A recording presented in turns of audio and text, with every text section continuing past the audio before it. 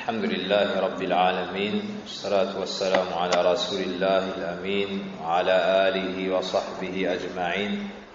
أما بعد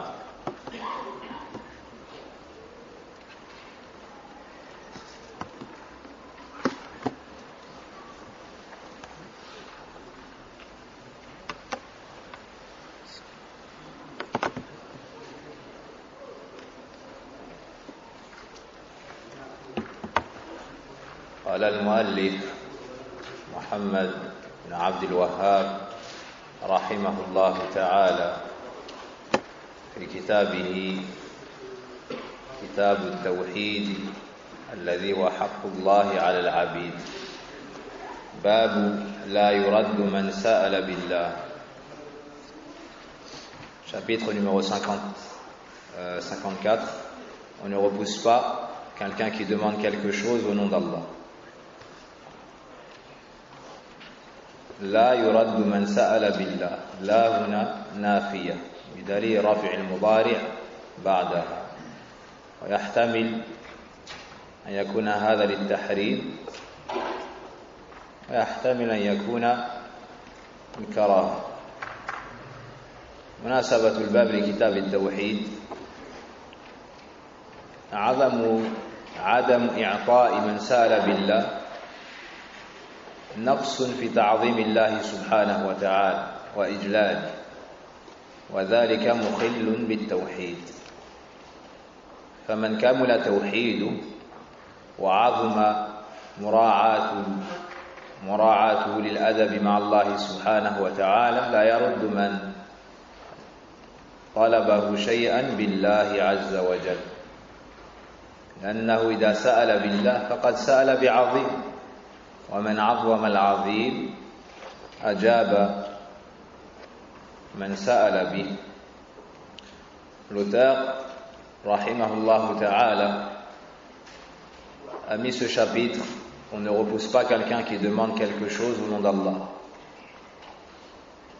a mis ce chapitre donc dans son livre Kitab al-Tawhid car le fait de refuser une chose à quelqu'un qui nous demande cette chose au nom d'Allah est un manque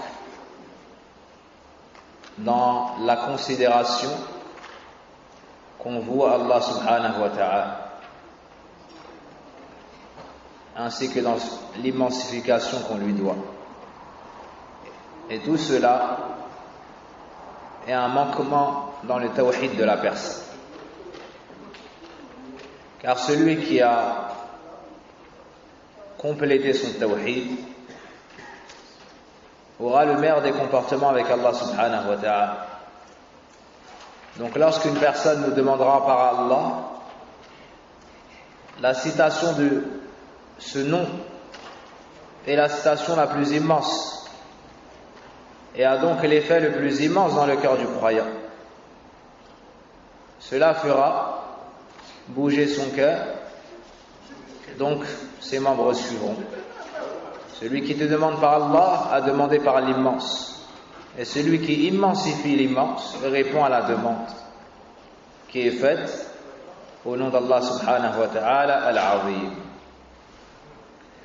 عن ابن عمر رضي الله عنهما قال قال رسول الله صلى الله عليه وسلم من استعاذ بالله فأعيذوه ومن سأل بالله فأعطوه ومن دعاكم فأجيبوه ومن صنع إليكم معروفا فكافئوه فإن لم تجدوا ما تكافئونه فادعوا له حتى تروا أنكم قد كفأتموه. روى أبو داود والنسائي بسند صحيح. ابن عمر رضي الله عنهما a dit et le messager d'Allah sallallahu alayhi wa sallam dit celui qui demande protection au nom d'Allah donnez-lui protection. Celui qui demande quelque chose au nom d'Allah répondez à sa demande. Et celui qui vous rend un service rendez-le lui. Et si vous ne pouvez pas alors invoquez Allah pour lui jusqu'à ce que vous pensiez que vous lui avez rendu l'équivalent du service qu'il vous a rendu.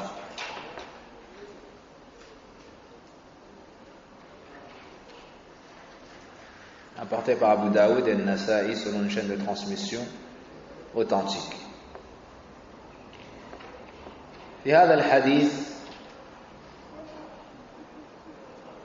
يقول النبي صلى الله عليه وسلم من استعاذ بالله فأعيذ dans ce hadith le prophète صلى الله عليه وسلم nous dit celui qui demande protection au nom d'Allah donnez-lui protection.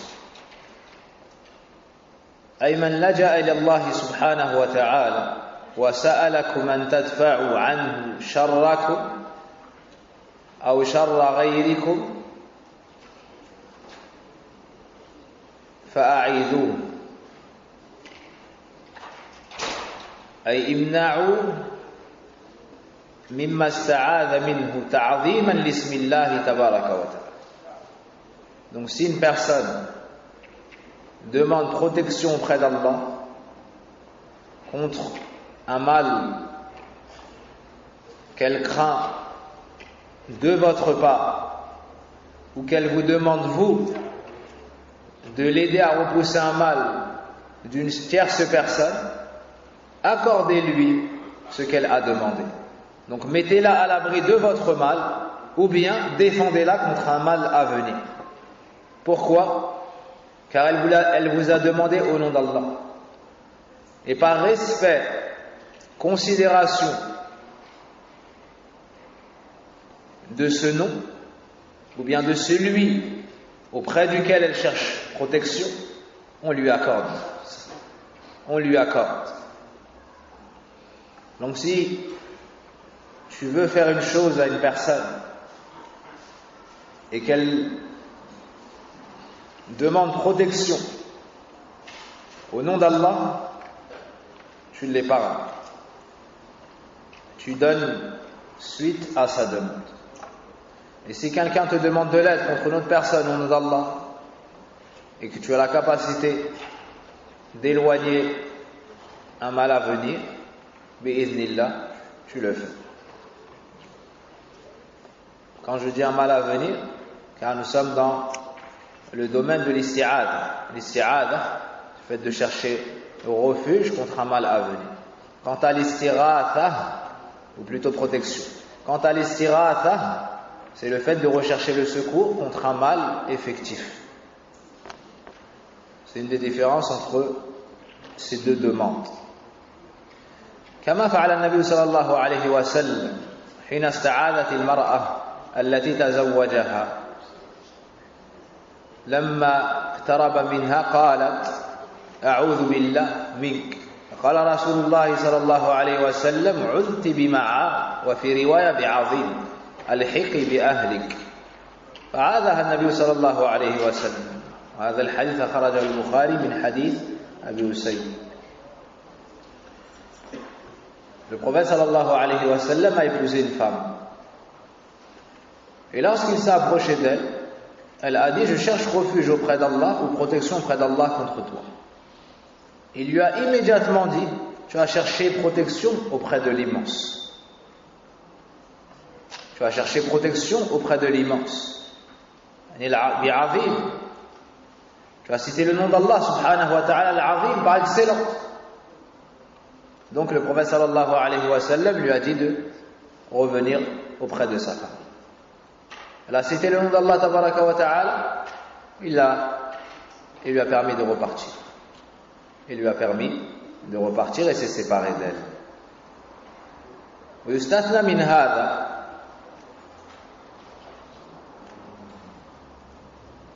من استعاذ بالله سبحانه وتعالى في أمر واجب في أمر واجب أو عن أمر واجب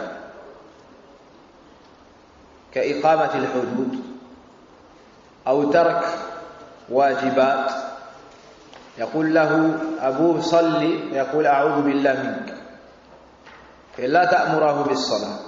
هذا لا يدخل في هذا الباب.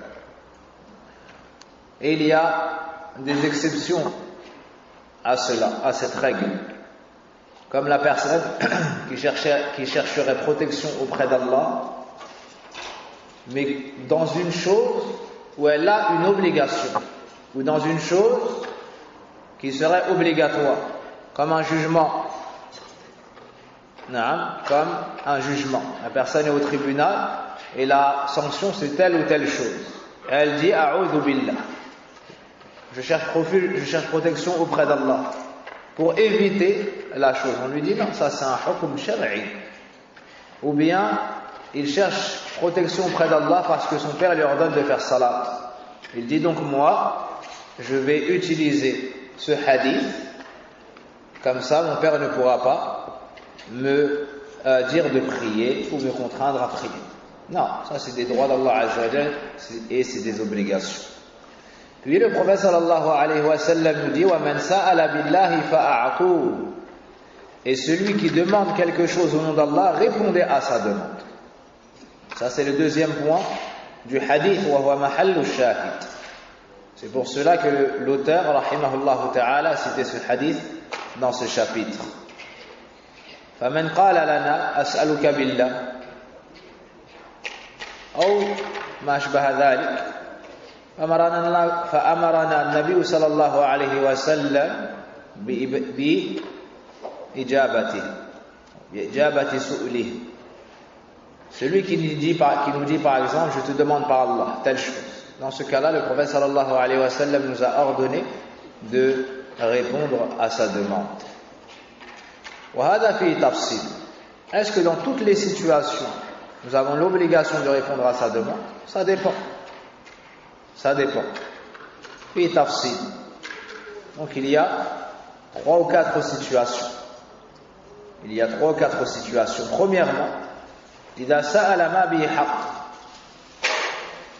إذا سأل ما به حق كان يكون فقيرا فيطلب الزكاة هذا يجب هذا يجب علينا أن نعطيه سؤله Donc si, le premier cas, c'est s'il nous demande au nom d'Allah ce dans quoi il a un droit.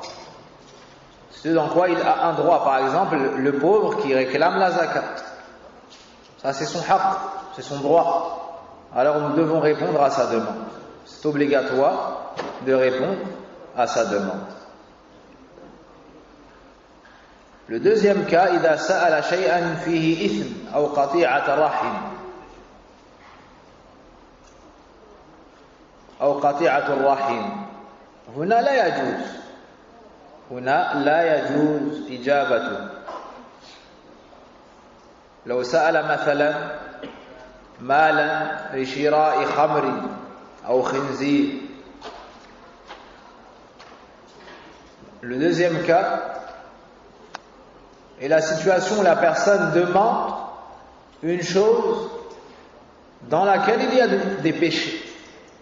S'il nous demande par Allah une chose dans laquelle il y a, des péchés, dans ce cas-là, c'est interdit de répondre à sa demande.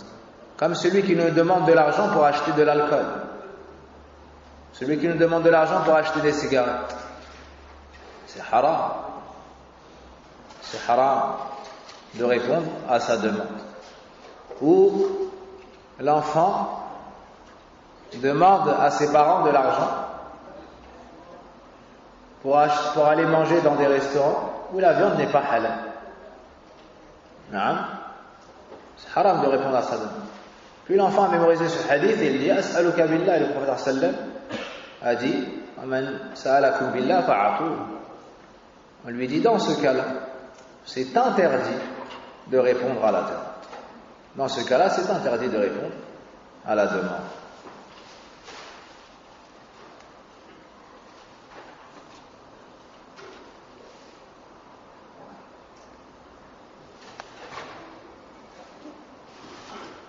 وإذا طيب الحالة الثالثة كا إذا سأل غيره بالله ما يلحق الضرر بالمسؤول أو يشق عليه.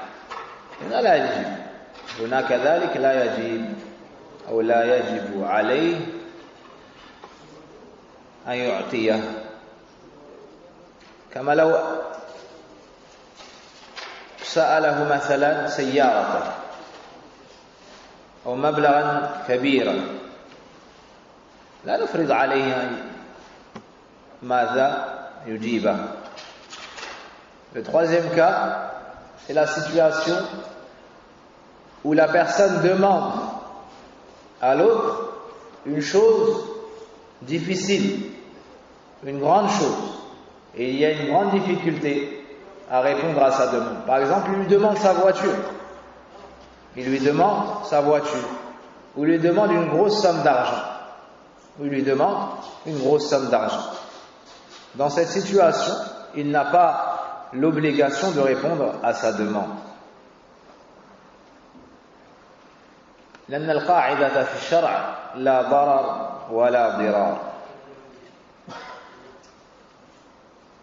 Parmi les grandes règles dans notre religion, c'est que tu ne subis pas de tort ni ne causes du tort à autrui. Quatrième situation,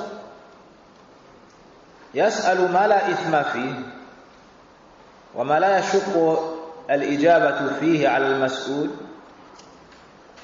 فهنا أرشد النبي صلى الله عليه وسلم إلى الإجابة فيه. وجمهور أهل العلم على حمل الأمر هنا على الاستحباب. ونقل بعض أهل العلم الإجماع على ذلك.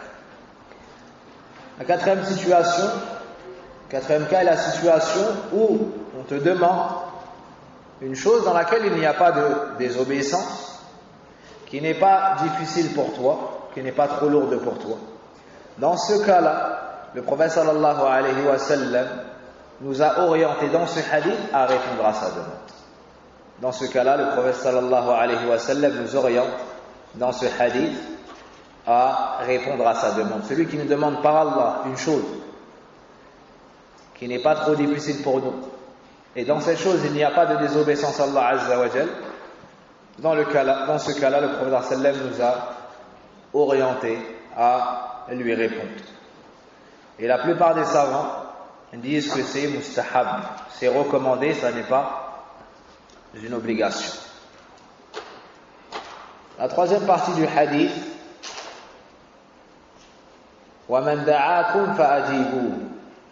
et celui qui vous invite, répondez à son invitation. Il a walima, ceux qui nous invite à un repas de mariage, là c'est obligatoire. Pour autre que cela, c'est recommandé. Pour autre que cela, c'est recommandé.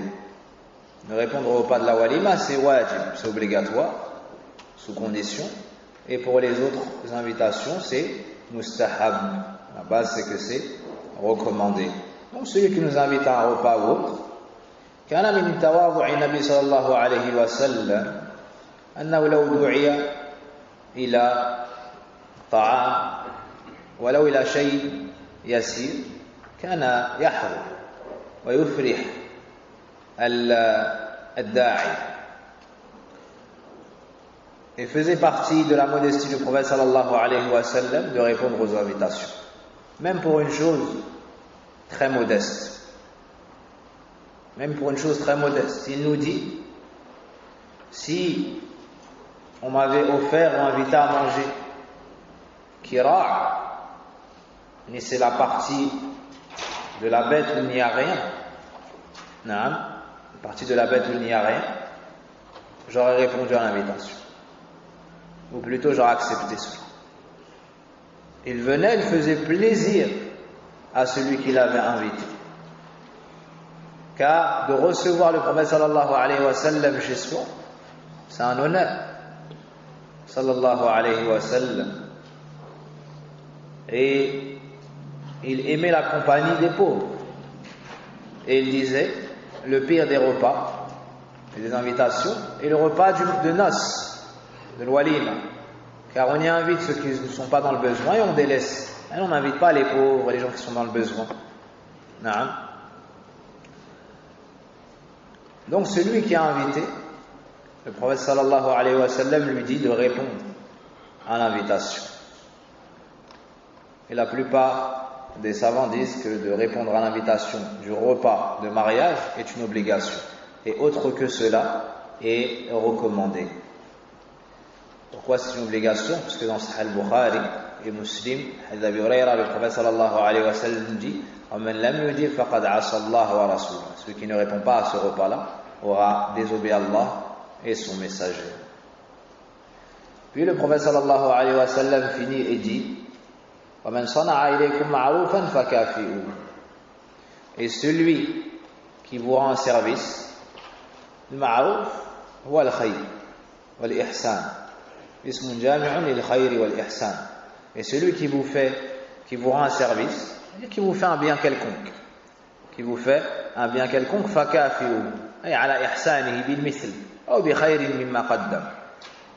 Dédommagez-le, rendez-lui la monnaie de sa pièce, c'est-à-dire rendez-lui la même chose ou meilleure.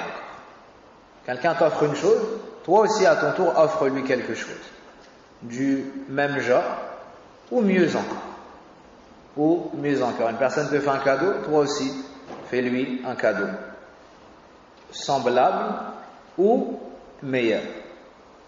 Voici ce à quoi nous appelle le prophète sallallahu alayhi wa sallam.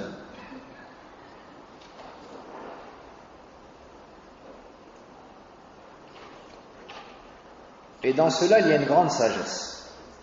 Pourquoi est-ce que le prophète sallallahu alayhi wa dans le domaine du tawhid?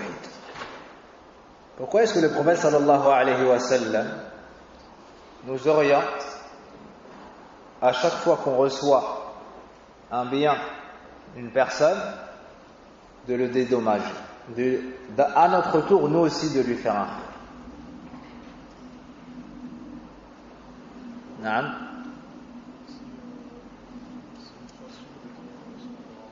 C'est une façon d'être reconnaissant envers Allah. Naam. Mais encore. De ne pas s'attacher à la personne. Allahu Akbar. C'est pour que notre cœur se dirige uniquement que vers Allah. Jazakallahu khayran. Kalam azim had. C'est une parole immense. Subhanallah. عند نعم تفضل من حسن المعاملة نعم عند من تفضل pour pas se sentir redevable envers quelqu'un. Pour conserver التوحيد نعم طيب في هذا ملحظ لطيف يتعلق بالتوحيد من كافأ على المعروف الذي صنع له فقد تخلص من نوع ذل الذي وقع له للمخلوق celui qui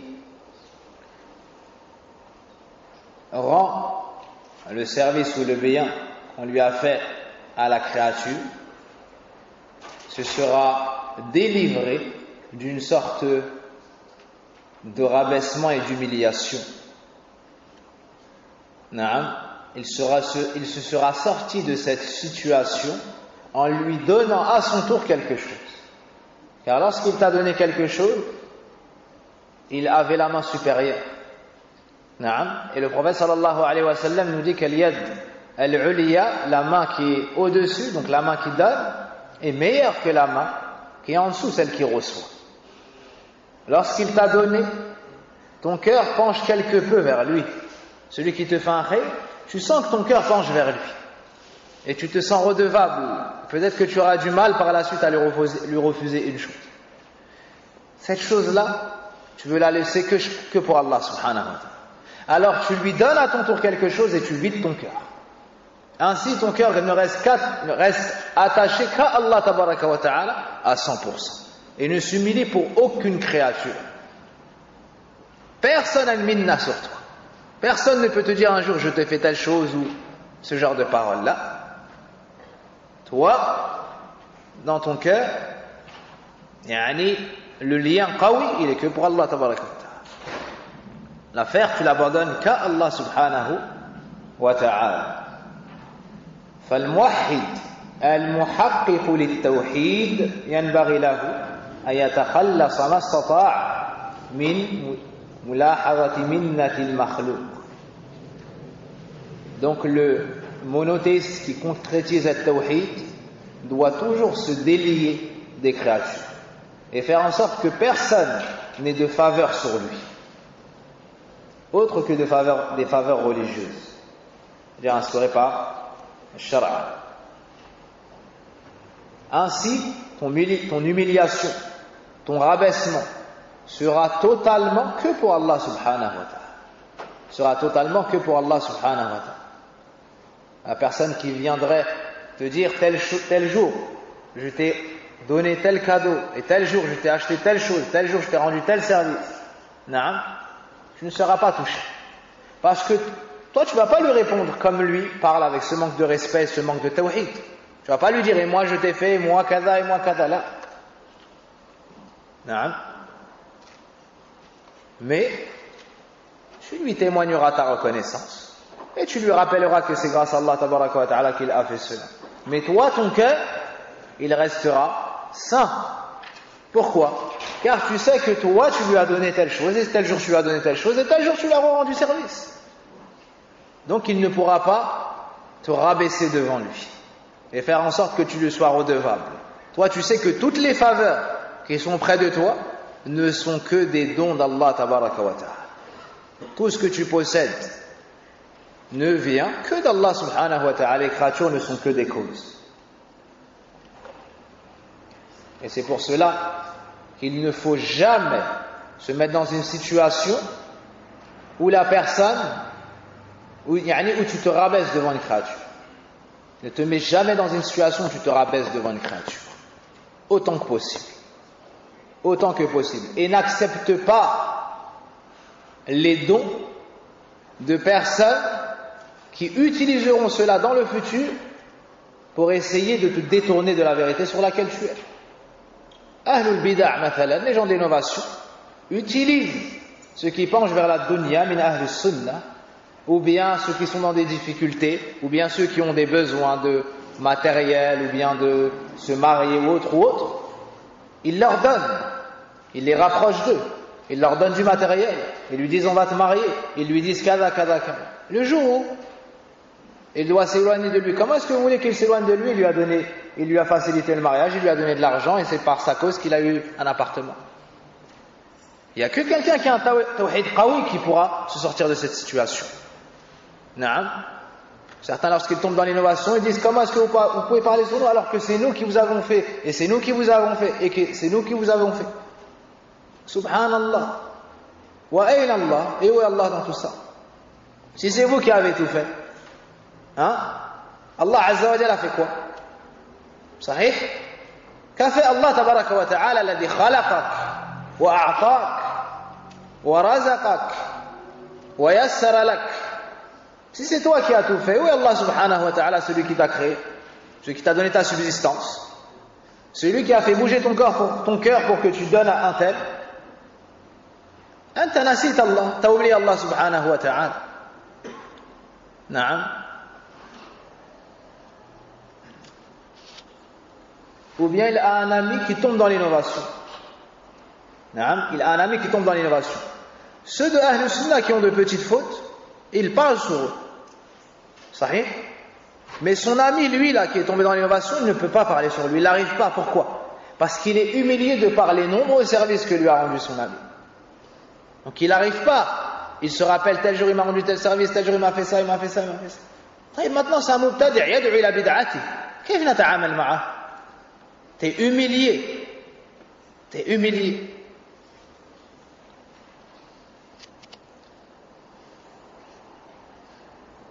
Et ça, ça arrive dans la da'wah. Ça arrive dans la da'wah. Que des gens se fassent museler par les bienfaits qu'on leur donne.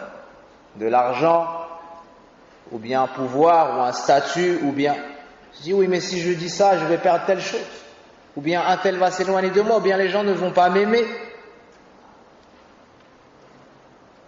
Subhanallah. Si Allah Azza wa ne t'aime pas, à quoi ça te servira que tu sois aimé par la moitié des créatures ou plus?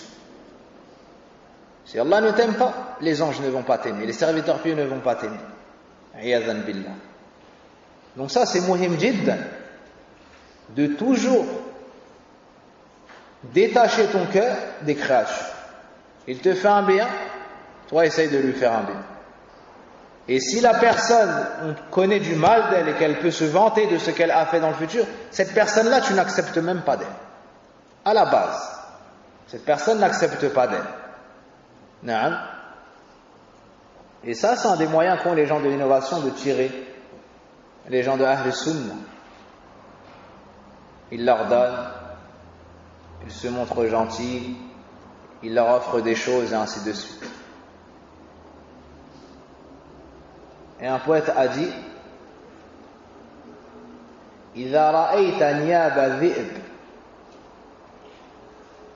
فلا تظنن الذئب يأتسم يبتسم Si tu vois les crocs du loup, ne pense pas que le loup est en train de te sourire. Sahih Si tu vois un loup devant toi et te montre ses crocs, tu crois qu'il te sourit Il prépare son dîner. L'innovateur, lorsqu'il te sourit, hein, il te voit comme une proie, comme une victime qui va être au service, hein, à son service pour propager son mal.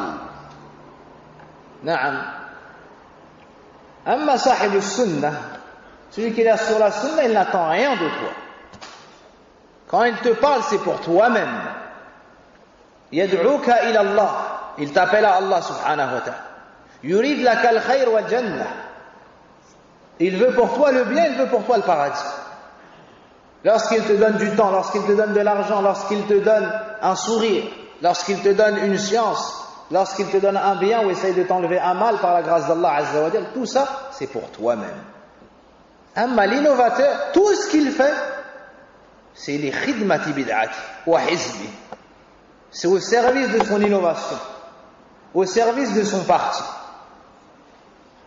Certains voyagent de pays en pays pour faire des quêtes et ramener au chef de l'innovation. Subhanallah. Hein? Comme les mourides, les et ainsi de suite. Aux quatre coins du monde, ils vont vendre des choses à droite, à gauche, aux États-Unis, en France, ainsi de suite, sous la tour Eiffel, partout. Et ensuite, ils envoient l'argent hein, à leur chiffre Le shir a une grande maison, deuxième, troisième, ils ont plus de quatre femmes. Adi. Naam. Waqi'ina fi shirk. Ils se font embrasser les pieds. On égorge pour autre qu'Allah Azza wa auprès d'eux. Subhanallah. Ils cherchent des disciples. أما صاحب السنة لا يقبل منك أن تتذلل أمامه صاحب السنة il n'accepte pas de son suiveur dans le khayr qu'il s'humilie il n'accepte pas. Parce qu'il t'a pas appelé pour lui, il t'a appelé pour Allah subhanahu wa ta'ala. Donc lorsque tu exagères à son sujet, il te réprimande, il t'éduque, il te corrige. C'est lui qui te donne son front pour que tu l'embrasses. Hein? C'est lui qui te... Tu l'appelles matalan euh, par son nom, il, t'engueule. Il te dispute plutôt. Et il te dit, appelle-moi Shir Fulan ou bien al-alim ou ou bien sans péché de ne pas l'appeler le grand professeur et le grand savant interne. Et tu trouves même des jeunes qui sortent de la puberté, qui se font appeler savant intel, ou shir intel. Wa ajaba, wa ajaba.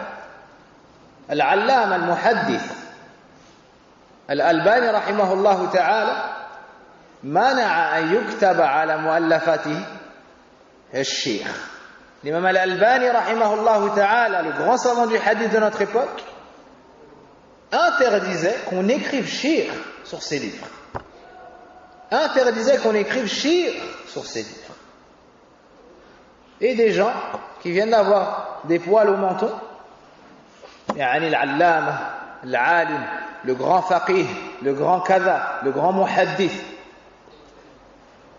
Hasbunallah wa ni'mal wakil. Hasbunallah wa ni'mal wakil. Donc ça, c'est un chapitre, ou bien c'est une subtilité qu'on doit remarquer. Regarde l'état de ton cœur. Regarde l'état de ton cœur lorsqu'on te donne. C'est pour cela que tout ce que tu peux faire toi-même, demande pas. Ce que tu peux faire toi-même, demande pas.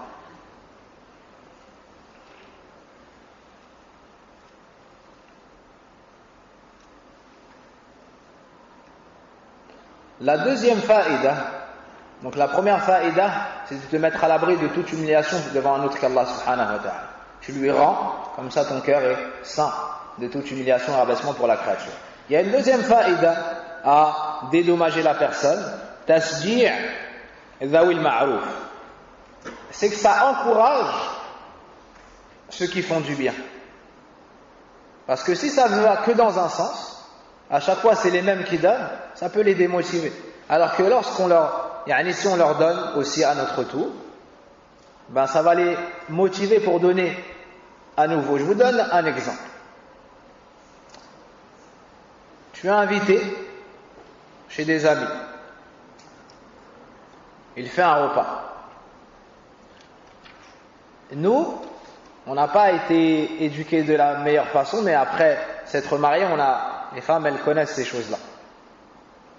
De quoi je parle? Hein? Là, t'es pas marié, toi. Mohamed.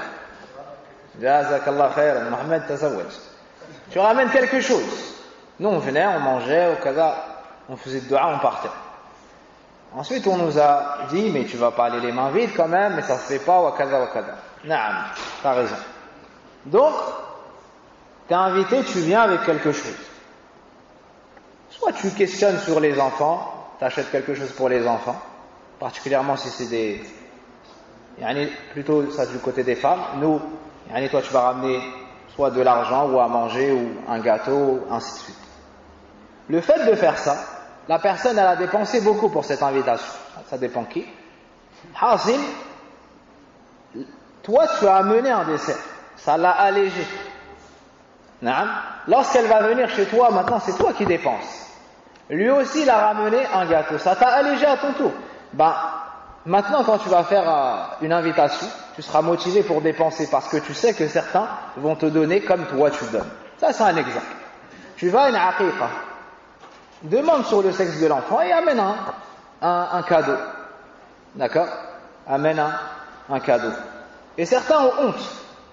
Parce qu'ils n'ont pas beaucoup de moyens, alors ils ont honte d'amener des choses, alors ils n'amènent rien. Hein? Ça, c'est une éducation purement européenne. Le fait de dire non, mais c'est la honte de donner ça, alors je ne donne pas. Le prophète sallam dit Prémunissez-vous du feu de l'enfer, ne serait-ce qu'avec la moitié d'une date. Tu as la moitié d'une date que tu peux donner en sadaqa, donne-le. Adi. Tu as un kilo de sucre, donne un kilo de sucre. Peut-être qu'avec ce kilo de sucre, Allah Azza te sauvera de l'enfer. Et Wallah, le, le le sucre est déjà ouvert. Et t'as que ça, prends-le et donne-le. Ma fi Si eux ensuite disent, il a pas honte, il a donné la moitié kada, c'est que à la base même il méritait pas cette, euh, ce cadeau ou cette sadaqa. Mais toi tu le fais pour Allah subhanahu wa ta'ala. Après je vous ai pas dit de prendre une bouteille déjà entamée, vous allez... Là, là, je vous parle dans la situation, la personne n'a que ça à donner. D'accord? N'a que ça à donner. Moi, si tu viens chez moi, viens même les mains vides, ma fi mushkila.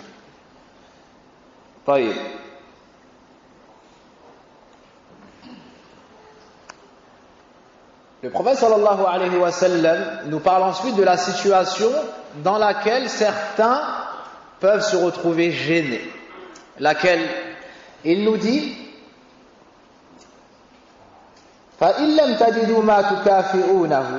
et si vous ne trouvez pas de quoi lui rendre le bien qu'il vous a fait, donc ça peut arriver. Quelqu'un t'a offert quelque chose, mais toi tu n'as pas de moyens. Ou quelqu'un t'a fait un bien dans un domaine, mais toi ça n'est pas le tien. Le prophète sallallahu alayhi wa sallam donne la solution. Fad'u lahu Invoquez Allah en sa faveur. Donc vous faites dua pour lui. Vous faites beaucoup de dua pour lui. Jusqu'au moment où vous pensez, où vous allez penser que vous l'avez remboursé. jusqu'à ce que vous pensiez que vous lui avez rendu l'équivalent du service qu'il vous a rendu. فادعوا له حتى ترون أو ترون ترون أي تعلموا ترون تظنوا donc jusqu'à ce que vous sachiez ou bien ce que vous pensiez que vous l'avez remboursé تجتهد في الدعاء له tu fais beaucoup de dua pour lui en sa présence en son absence mais ça peut être meilleur que beaucoup de, matériel. Donc dans ce hadith, le prophète sallallahu alayhi wa sallam nous ordonne de grands et nobles caractères. Il nous parle, premièrement, de celui qui nous demande protection au nom d'Allah. Le fait qu'il nous a demandé protection en citant le nom de l'immense, on lui accorde ce qu'il a demandé. Et celui qui nous, demande quelque chose au nom d'Allah, par respect envers ce nom immense, on lui accorde sa demande. Et celui qui nous fait un bien, on le dédommage et on lui rend à notre tour quelque chose. Et si on ne trouve pas de quoi lui rendre, on fait dua pour lui. On fait dua pour lui. Le prophète nous apprend à être bienfaisant envers les gens. مناسبة الحديث للباب في الأمر بإعطاء من سأل بالله وعدم رده Donc l'auteur a cité ce hadith dans ce chapitre, car on y voit que le, le prophète sallallahu alayhi wa sallam nous ordonne de donner à celui qui nous demande au nom d'Allah. Et nous dit de ne pas le repousser. يستفاد من هذا الحديث أنه لا يرد من سال بالله إجلالا لله وتعظيما On tire de ce, de ce hadith que celui qui nous demande par Allah, on ne rejette pas sa demande. On ne rejette pas sa demande en signe de respect pour Allah tabaraka wa ta'ala. من استعاذ بالله وجبت إعاذته ودفع الشرع عنه ودفع الشر عنه on tire de ce hadith que celui qui cherche protection au nom d'Allah, c'est obligé de lui accorder cela et de repousser de lui le mal.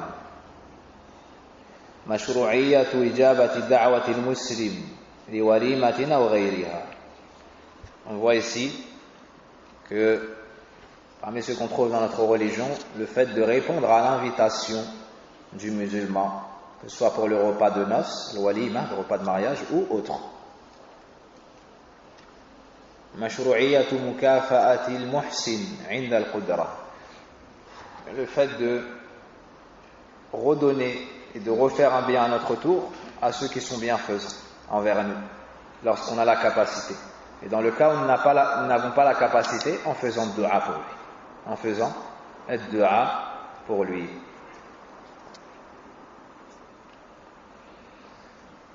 Et dans, ce, dans cette situation, le, la personne doit être, doit être intelligente. Selon la personne qui est en face, selon la personne qui te donne, tu te comporteras. Si par exemple c'est une personne de pouvoir qui te donne des richesses et t'offre des choses, d'accord? Si toi à ton tour tu viens et tu lui donnes, par exemple, il te donne de l'argent, toi à ton tour tu lui donnes de l'argent, ça, ça peut être vu comme un manque de respect. Ça, ça peut être vu comme un manque de respect. Dans ce cas-là, tu vas pas toi à ton tour lui, donner ça. Non Tu vas pas toi à ton tour lui donner ça. Ou bien quelqu'un qui a des moyens t'invite à manger et toi tu lui donnes de l'argent comme si tu payais le, repas. Non D'accord? Les croyants ne vont pas accepter cet argent. Ils l'auraient accepté peut-être en cadeau, mais pour le repas, tu veux et poser de l'argent. Ce n'est pas une chose que le croyant accepterait.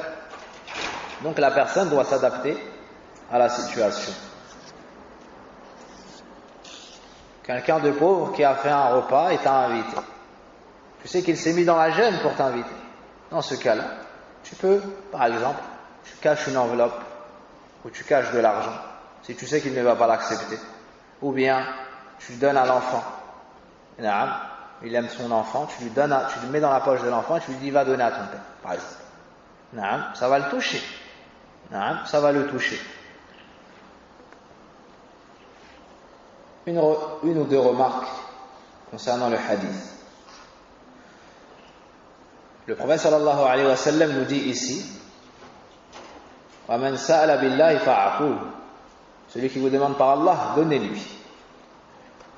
ينبغي لنا أن نعلم أن الطلب من حيثه مكروه أقل ما يقال فيه أنه مكروه Il faut savoir malgré tout que de demander quelque chose, à la base même c'est détestable. Et celui qui demande de l'argent alors qu'il n'est pas dans le besoin, c'est haram. Donc le sahib de tawhid, il ne lui convient pas de demander, de tendre sa main. D'accord Et alors qu'on était encore tout petit, lorsqu'on demandait quelque chose, on se faisait corriger. Lorsqu'on demandait à un invité de l'argent on se faisait corriger. À la parole ou physiquement? Donc il ne faut pas demander. Et il faut éduquer les enfants à ne pas demander aux étrangers. Voilà, même à la famille. Naam. Ne demande pas de l'argent, ne demande pas de pièces, ne demande pas. Il ne demande rien. Je l'éduque à demander à Allah Azza Tu veux quelque chose, tu demandes à Allah Azza et moi je t'achète. Si Allah me facilite cela. Et c'est pour cela que parmi euh, l'allégeance qui a été faite au prophète sallallahu alayhi wa sallam par les, par les compagnons,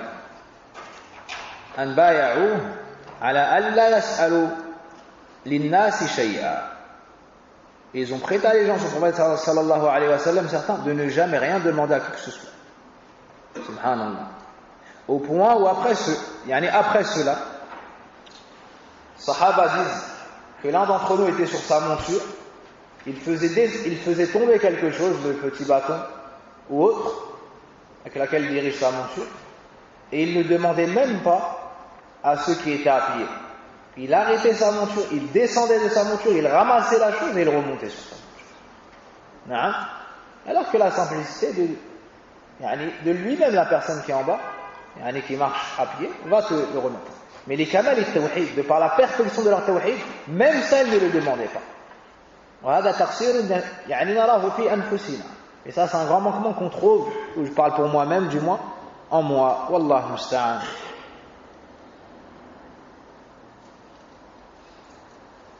ce hadith dans Sahih Muslim, Auf ibn Malik. Et le prophète sallallahu alayhi wa sallam a mis en garde contre le fait de demander.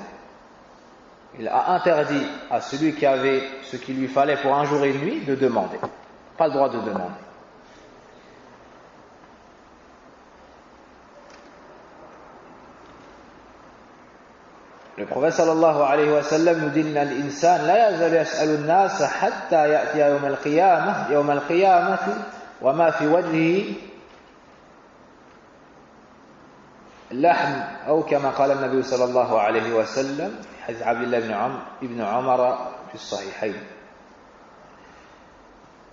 ونجد في صحيح مسلم باب كراهية المسألة Le prophète sallam dit les gens ne cesseront de demander jusqu'à ce qu'ils arrivent le jugement dernier sans peau sur leur visage ou sans viande sur leur visage. Ça montre que c'est une kabira, c'est un grand péché de demander alors que tu n'es pas dans le besoin. Deuxième remarque, Ibn Athim ta'ala nous dit que le fait de répondre à l'invitation, c'est sous condition. L'obligation de répondre à l'invitation, c'est sous condition. Même l'invitation de l'walim. D'accord? Et souvent on nous pose cette question. Je suis invité à une walima, mais il y a de la mixité. Je suis invité à une walima, mais les gens s'habillent mal. Je suis invité à une walima, mais il y a de la musique. Est-ce que je dois y aller? Mais c'est la walima de mon frère, mais c'est la walima de ma soeur, mais c'est la walima de ma meilleure amie, de mon meilleur ami. Comment faire? Ibn Ashim ta'ala nous dit qu'il y a des conditions pour que ça soit obligatoire et pour, qu'on puisse, pour qu'on puisse y aller. ألا يكون الداعي ممن لا يجب هجره أو يسم سبحان الله Ibn Hassan rahimahullah ta'ala nous dit premièrement celui qui nous invite ne doit pas entrer dans la catégorie de, la catégorie de personnes que nous devons obligatoirement desquels nous devons obligatoirement nous éloigner, leur faire le hajj. Ou bien que c'est une sunna de leur faire le hajj, ou bien c'est recommandé de leur faire le hajj. Si c'est un mubtadi' qui t'invite, par exemple, ou une personne qui, euh, qui amène une nuisance au din, des personnes à qui on peut faire le hajj, à la kulli hal, où on doit faire le hajj, dans ce cas-là, tu ne réponds pas à l'invitation. Dans ce cas-là, tu ne réponds pas à l'invitation. Il y a des gens qui ne sont pas fréquentables. D'autres les fréquentent et disent non mais moi je suis intelligent et moi et moi et un mois après tu vois qu'il travaille pour lui. Non. Et lorsque tu le conseilles, il dit non mais j'ai juste mangé avec lui. Non. Il dit non mais j'ai juste mangé avec lui. Non mais je ne le fréquente pas. Non mais kada, non mais kada, non mais kada. Quelqu'un qui manque de respect au prophète sallallahu alayhi wa sallam, comment est-ce que tu peux trouver de l'appétit en sa présence Hein? Quelqu'un qui manque de respect à Allah tabaraka wa ta'ala, qui innove dans la religion d'Allah subhanahu wa ta'ala, ou bien qui insulte les sahaba, ou bien qui insulte les ulama, comment est-ce que tu peux trouver de l'appétit en sa compagnie? Te déplacer et rester avec lui, alors que peut-être tu ferais même pas l'effort pour une personne de ta propre famille. Hein? Allah musta'an. Il ne doit pas avoir un mal dans l'endroit où il y a l'invitation. Puis Ibn développe. Il dit si dans cet endroit, tu peux changer le mal, alors tu te rends à l'invitation, tu conseilles les gens pour enlever ce mal. Je vous donne un exemple. Il y a de la musique. Tu y vas et tu dis aux gens d'enlever la musique et tu sais ou tu penses qu'ils vont t'écouter. Alors tu y vas Tu les conseilles, ils enlèvent, tu prends place. Ou bien un autre péché. فإن أمكنه ماذا إزالته إزالته وجب عليه الحضور donc dans ce cas-là Ibn dit c'est obligatoire de te rendre en invitation pour enlever ce mal pour deux causes إجابة الدعوة تغير المنكر répondre à l'invitation et enlever le mal si tu sais que tu ne peux pas changer ce mal alors c'est haram pour toi de te rendre à cette invitation. Alors c'est haram pour toi de te rendre à cette invitation. حرم عليه الحضور لأن حضوره يستلزم إثما أو إثمه وما استلزم الإثم فهو إثم car il dit en te rendant à cette invitation forcément tu prendras des péchés et la chose qui t'emmène au péché c'est un péché. que celui qui t'invite soit un musulman. Si c'est pas un musulman, c'est pas obligé de répondre à l'invitation. Car le prophète sallam dit haqqul muslim al muslim Six choses font partie des droits du musulman sur le musulman. Lorsqu'il t'invite, réponds à son invitation. Et cette généralité est euh, a été encadrée par d'autres textes. Donc s'il y a un mal, et ainsi de suite. ألا يكون كسب ماذا كسب هذا الرجل حراما La personne qui t'invite ne doit pas avoir acquis ses biens de manière illicite. Si c'est une personne qui travaille dans le haram, il t'invite, donc tu vas manger du haram. Donc tu vas manger du haram. Dans ce cas-là, ça n'est pas obligé de répondre à son invitation. D'autres ont dit c'est haram de répondre à son invitation, car forcément tu vas mettre du haram dans ton. Puis Ibn ta'ala dit cela se discute, ou bien fait tafsir. Ça dépend. Parce qu'il y a des cas où le haram, il est restreint à la personne, mais il n'est pas haram pour les autres. Certaines personnes ont de l'argent haram ou des biens haram. C'est haram pour eux, car ils l'ont acquis de manière illicite. Mais pour les autres, c'est pas haram. Non, pour les autres, ça n'est pas haram. Il y a ce qui est haram en soi, comme l'alcool, comme le porc. Non. Il y a ce qui est haram par des causes. Il y a ce qui est haram par des causes. Donc, dans certaines situations, ça sera haram pour la personne, mais pas pour les autres. Mais pas pour les autres. ألا تتضمن إجابة الإجابة إسقاط واجب أو ما هو أوجب Ibn Hassan rahimahullah ta'ala nous dit il ne faut pas qu'en répondant, en répondant à cette invitation tu délaisses une obligation ou bien une obligation plus importante que celle-ci donc toi on t'invite par exemple au Jumu'ah, à l'heure du Jumu'ah on t'invite à l'heure du Jumu'ah une walima c'est obligatoire mais si tu te rends à la walima tu rates le Jumu'ah qu'est-ce que tu fais? Tu ne réponds pas à l'invitation parce qu'il y a une, obligation qui est plus importante. On t'invite et tes parents sont malades.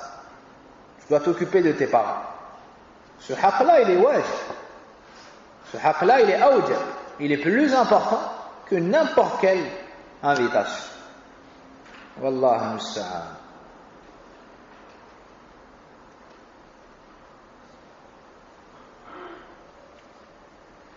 Et sixièmement, Allah dararan ala al Il ne faut pas que ça cause du tort à celui qui est invité. Si ça lui cause du tort de répondre à l'invitation, par exemple on l'invite dans un autre pays ou bien dans un endroit qui est vraiment éloigné de son lieu de résidence, au point où il doit faire un voyage séparé de sa famille et ainsi de suite, à ce moment-là, ça n'est pas euh, obligatoire. Voici pour ce chapitre. On ne repousse pas quelqu'un qui demande quelque chose au nom d'Allah. Pourquoi tout ça? Parce que le musulman, la chose à laquelle il accorde le plus d'importance et de respect, c'est Allah subhanahu wa ta'ala. Donc lorsqu'on lui cite Allah tabaraka wa ta'ala, son comportement et sa perfection du tawhid fait qu'il ne peut refuser. Le chapitre suivant, قال المؤلف رحمه الله تعالى باب لا يسأل بوجه الله إلا الجنة on le demande, donc chapitre 55, on ne demande à Allah par son visage que le paradis. On ne demande à Allah par son visage, ou Allah, je te demande, biwajhik, par ton visage, cela il faut le faire que pour demander le paradis. Voici l'intitulé du chapitre. وعن جابر رضي الله عنه قال قال رسول الله صلى الله عليه وسلم لا يسأل بوجه الله إلا الجنة Rawahu Abu Daoud. Jabir, radiallahu anhu, dit Le messager d'Allah sallallahu alayhi wa sallam a dit On ne demande à Allah par son visage que le paradis. Apporté par Abu Daoud.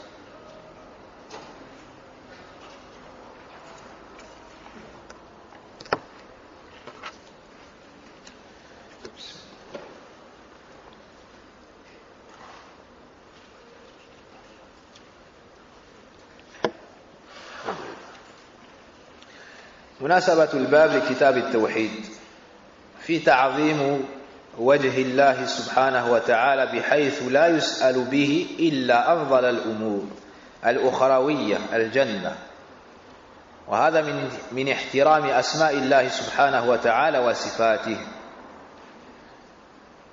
L'auteur, rahimahullah ta'ala, continue dans les chapitres qui permet aux serviteurs de parfaire la perfection du tawhid ou bien de rentrer dans le groupe de ceux qui ont parfait le tawhid recommandé. Kamal ou tawhid, la perfection du tawhid. Car il y a une base, des obligations, des perfections. En faisant ou en délaissant certaines choses, la personne atteint la perfection du tawhid le fait d'avoir le meilleur des comportements vers Allah Azza ses noms et ses attributs, entre dans ces chapitres. L'auteur a cité ce chapitre dans son livre Kitab al-Tawhid, car on y voit le profond respect accordé aux attributs d'Allah subhanahu wa ta'ala, en l'occurrence ici, son visage. De sorte à ce que le serviteur ne demande par celui-ci, par le visage d'Allah que la meilleure des choses, ayant rapport avec l'au-delà. Le paradis et tout ce qui a un rapport avec cela fait partie du respect des noms et attributs d'Allah subhanahu wa ta'ala. Le fait de ne pas utiliser le visage d'Allah pour demander des choses qui n'ont pas grande importance ou bien des choses de dunya. Le hadith qu'a cité l'auteur Des savants ont dit qu'il était dhaif. Des savants ont dit qu'il était faible et d'autres ont dit qu'il était bon. Certains ont dit qu'il était faible et d'autres ont dit qu'il était bon. Du fait qu'il y a Suleyman ibn Mu'ad. Et c'est ce à quoi tend le neveu du shir, Shir Suleyman, celui qui a fait le, le sharh euh, du, du Kitab al-Tawhid, Taysir, et l'imam al-Albani également, rahimahumullah, jami'an, a cité que ce hadith était dhaif. D'autres ont dit qu'on pouvait l'accepter. Donc l'auteur dit là, yus'alu biwajhillah. Ou plutôt dans le hadith, on ne demande pas par le visage d'Allah. Il y a deux sens. La yus'alu ahadun min al-makhluqina biwajhillah. أي إذا أردت أن تسأل مخلوقا فلا تسأله بوجه الله لا تقول أسألك بوجه الله لأنه لا يسأل بوجه الله إلا الجنة والخلق غير قادرين على إعطاء الجنة نعم فمن ثم لا يسألون بوجه الله Le premier sens est de dire qu'on ne demande pas aux créatures une chose par le visage d'Allah. On ne dit pas à la créature, je te demande, je te demande par le visage d'Allah de m'accorder telle ou telle chose. Pourquoi Car on ne demande par le visage d'Allah que le paradis. Et la créature n'entre pas dans sa capacité le fait de pouvoir t'accorder le paradis. Donc, on ne demande pas à la créature par le visage d'Allah. On a vu dans le chapitre passé le fait de demander par Allah. Ici, c'est plus spécifique, c'est par le visage d'Allah subhanahu. Le deuxième sens, إذا سألت الله فإن سألته الجنة وما وما يستلزم الدخول فيها فلا حرج أن تسأله بالجنة. أما ما دون ذلك من الأمور الدنيوية فلا تسأله فلا تسأله بوجهه الكريم. Donc, le deuxième sens est de dire que si tu invoques Allah subhanahu wa ta'ala et tu lui demandes quelque chose, si cette chose demandée est le paradis ou ce qui s'y rapporte, alors il n'y a pas de mal à ce que tu lui demandes par son noble visage. Par contre, si tu lui demandes une des choses de dunya, فإن وجهه أعظم من أن من أن تسأله به يعني في الأمور الدنيوية par contre, si tu lui demandes une chose de dunya, une chose ayant rapport avec le bas monde, son visage est bien trop immense pour que tu utilises cet attribut ô combien immense pour lui demander une chose basse. Non pour lui demander des choses de la dunya. Ce serait comme un manque de considération envers l'immensité d'Allah ta'ala. Quant aux choses de l'au-delà, la protection contre le feu de l'enfer, le paradis, le pardon des péchés, tout ce qui est en rapport, est en rapport avec l'entrée au paradis, alors il n'y a pas de mal. فالتوسل بهذه الصفة توسل بشيء عظيم فلا يناسب هذا التوسل المطلب الصغير ah ou il haqir. Donc lorsque tu demandes par le visage d'Allah Azzawajal, tu vas demander par une chose azim, Donc ça ne convient pas d'utiliser cela pour demander des choses basses.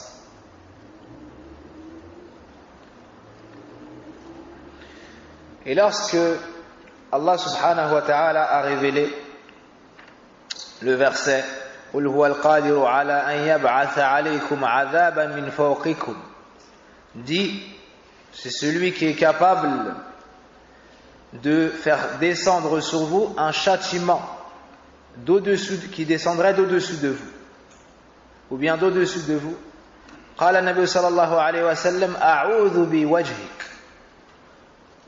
أعوذ بوجهك je cherche protection par ton visage.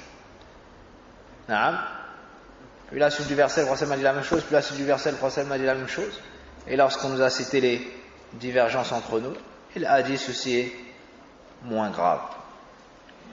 Le shahid, c'est que le prophète dans ce hadith qu'a rapporté le Bukhari, an Jabir, on voit qu'il a cherché protection en citant le visage d'Allah ta'ala pour une chose azim. Ibn Athaymin, après avoir cité les deux avis, a dit لو قيل إنه يشمل المعنيين جميعا لكان له وجه Et si on disait que ces deux sens sont bons, c'est-à-dire on ne demande pas une créature par le visage d'Allah, quelque chose, et on ne demande pas à Allah, yani ni on ne demande pas, on ne, ni on demande à Allah par son visage autre que le paradis. Si on dit que ça englobe les deux sens, alors ça serait euh, ce sera un bon point de vue.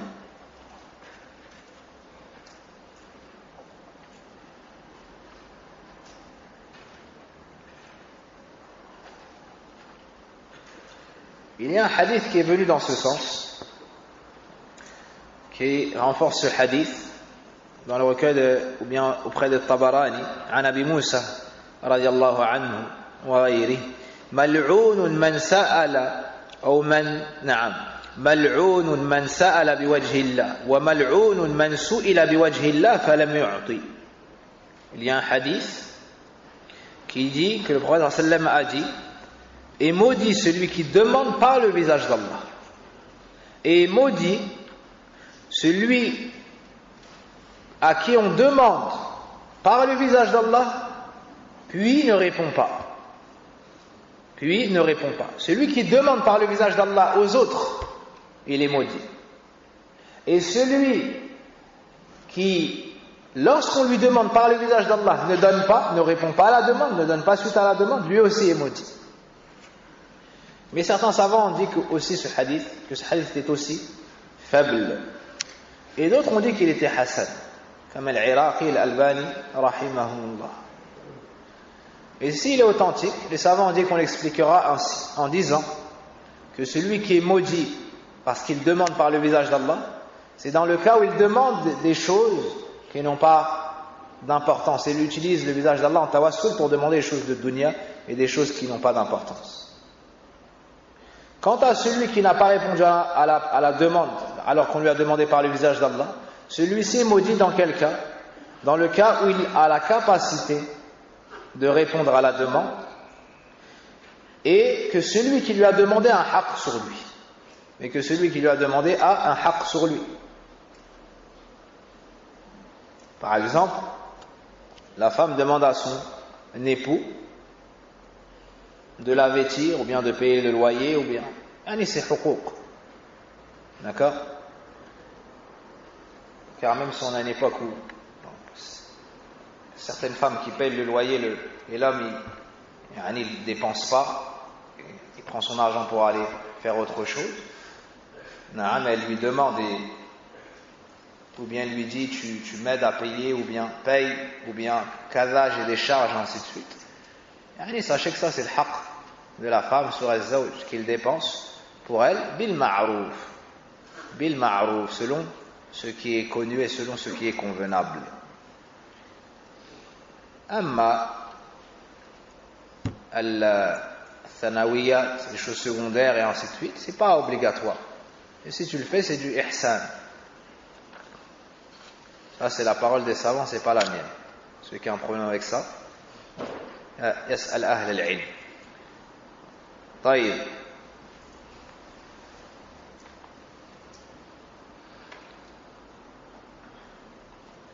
Ici, une mas'ala, wajhullah. On trouve dans le hadith le visage d'Allah. من صفات الله سبحانه وتعالى الثابتة قطعا في القرآن وفي السنة صفات الوجه. Parmi les attributs connus d'Allah subhanahu wa ta'ala, affirmé de par le Coran et de par la Sunna, le visage. قال الله سبحانه وتعالى كل شيء هالك إلا وجهه toute chose est vouée à disparaître excepté son visage excepté son visage. وفي البخاري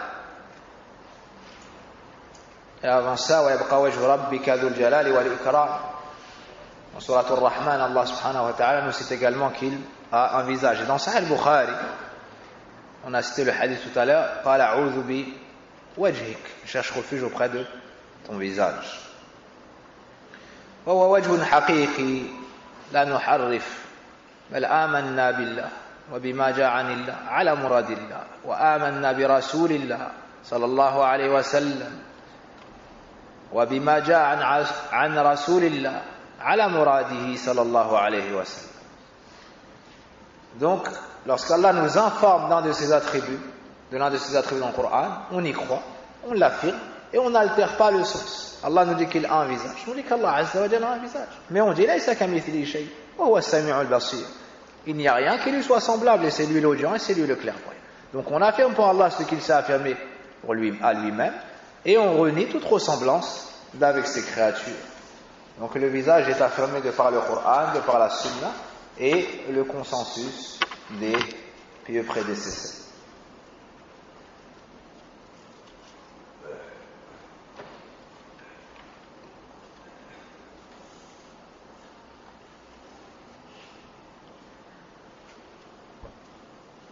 مناسبة الحديث للباب l'auteur rahimahullah ta'ala a cité ce chapitre euh, pardon a cité ce hadith sous ce chapitre car on y voit qu'on ne doit pas demander une chose par le visage d'Allah si ce n'est le paradis voilà l'interdiction de demander par le visage d'Allah autre chose que le paradis أن فيه النهي عن أن يسأل أن يسأل بوجه الله غير الجنة.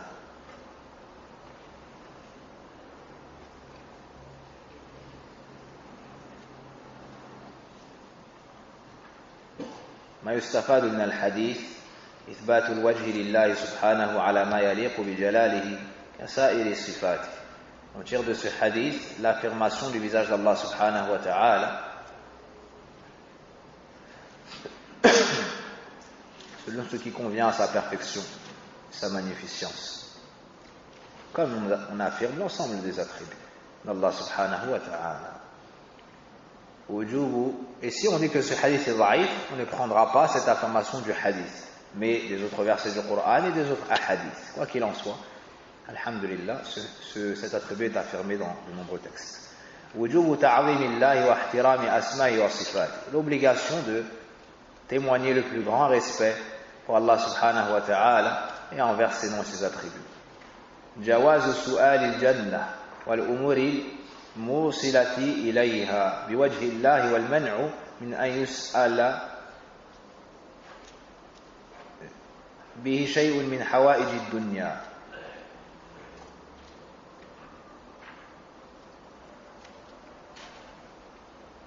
la permission de demander le paradis et toute chose y menant par le visage d'Allah. Et l'interdiction de demander les besoins de dunya par le visage d'Allah.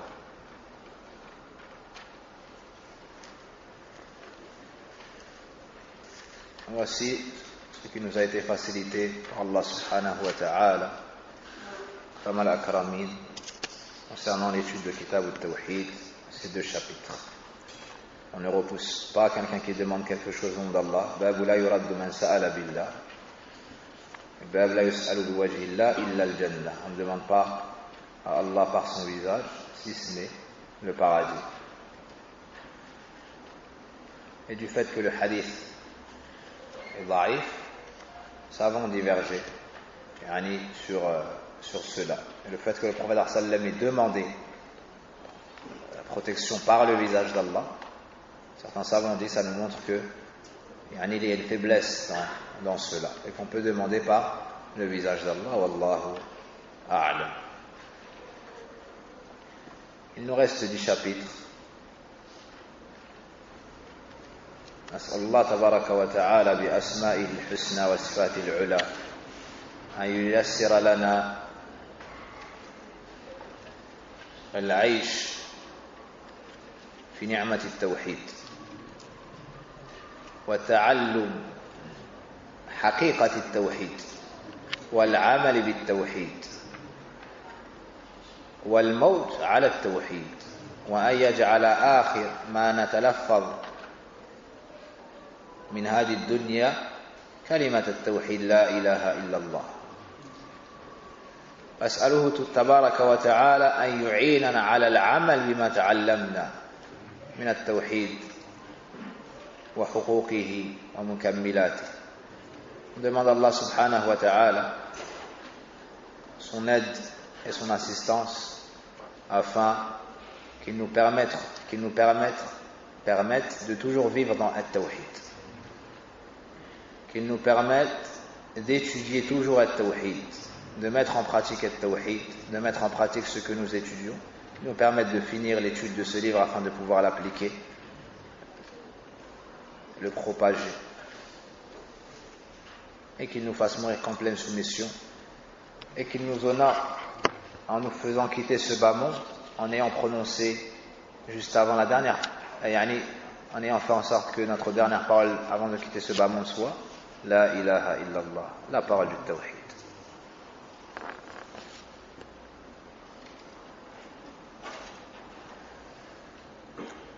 Lorsque la personne étudie, elle doit constamment surveiller son intention.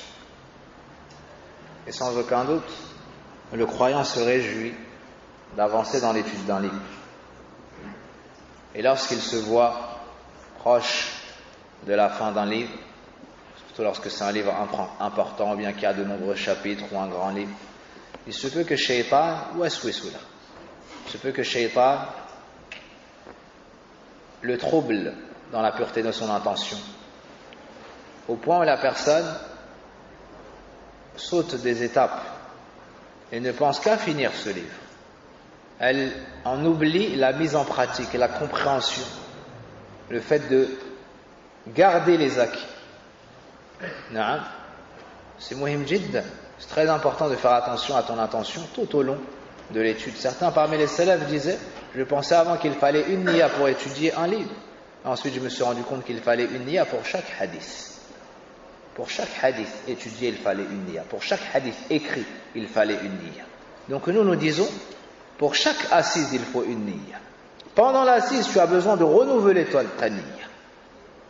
Certaines personnes viennent au cours au début pour apprendre le tawhid pour avoir les récompenses, pour avoir l'agrément d'Allah Azza wa rentrer au paradis, se voir pardonner ses péchés, connaître Allah pour pouvoir vivre son tawhid, son islam, et prendre le plus grand plaisir dans la mise en pratique des ordres d'Allah Azza Au fur et à mesure des cours, le copinage s'installe. Il vient parce qu'il va voir un tel. Il s'est lié d'amitié avec un tel. Elle s'est liée d'amitié avec une telle. Et en venant en cours, où est un tel? Où est une telle? On en oublie presque pourquoi est-ce que on, est venu. On en oublie presque cela. Puis, on cite du coup que ce qui n'est pas en sujet direct, en rapport direct avec le sujet. Ça, c'est un des signes que tu t'éloignes du maqsoud. Certaines paroles, il se peut que l'enseignant les cite pour alléger le cours, ou pour détendre, ou pour réveiller. Puis il revient au sujet. Si toi, lorsque tu repars, tu retiens que ce point-là, tu as oublié pourquoi est-ce que tu es venu. Alhamdulillah, al-ukhuwa amrun azim, wa min al-qurubat, allati Allah subhanahu wa ta'ala, sans aucun doute, la fraternité, c'est une chose qui a la plus grande place dans l'islam.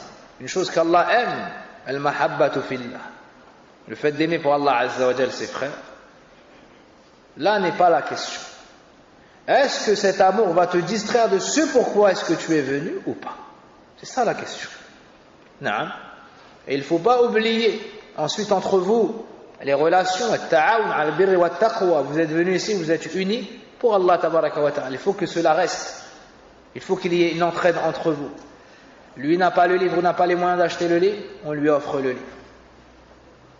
Tu vois, quand elle vient en cours, il n'a pas le livre, dis-lui de ramener le livre. Tu vois, quand elle vient en cours, il est distrait pendant le cours, enseigne-lui comment se tenir dans une assise. Il est nouveau et tu es ancien. Ne dis pas, lui, il s'assied de telle manière, ou il s'est allongé dans le cours. Va le voir et dis-lui, oh mon frère, c'est une assise qui est l'assise du paradis. C'est une assise dans laquelle on recherche l'agrément d'Allah Il y a un comportement à voir. C'est une assise dans laquelle on entend Qala Allah, Qala Rasulullah. Il y a une manière de s'asseoir. Tu lui donnes le bon conseil. Tu l'éduques. Tu le prends par la main.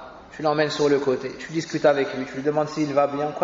Quand tu vois qu'il est euh, disposé à accepter le conseil, tu le conseilles.